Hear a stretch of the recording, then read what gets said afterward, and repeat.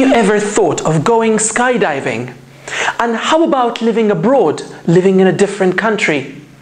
And have you ever thought of getting a tattoo?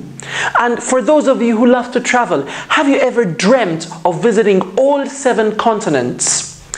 In today's video, we're going to look at talking about wishes, hopes, dreams, and intentions with me, Brian.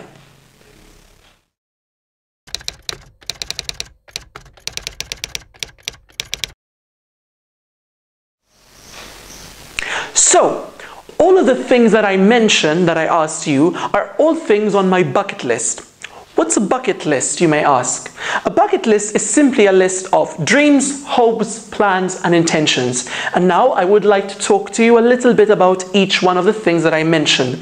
So, I'd really like to get a tattoo. Um, I don't currently have any tattoos, but I think that it would be quite cool to get a tattoo maybe on my arm, something uh, related to a person that I love, or something like that. Another one of my ambitions is to live abroad, to live in a different country. Now, I've already lived abroad before. I lived in the UK for one year, but I would love to live abroad again um, now as a teacher to be able to teach people from all around the world. Now, related to this is another travel dream of mine. I really hope that I get to visit all seven continents. I believe that there is so much beauty to see in all the world and I want to see as much of it as I possibly can. And finally, I've always dreamed of doing something really adventurous. I really want to go skydiving. I think that it would be really good for an adrenaline rush.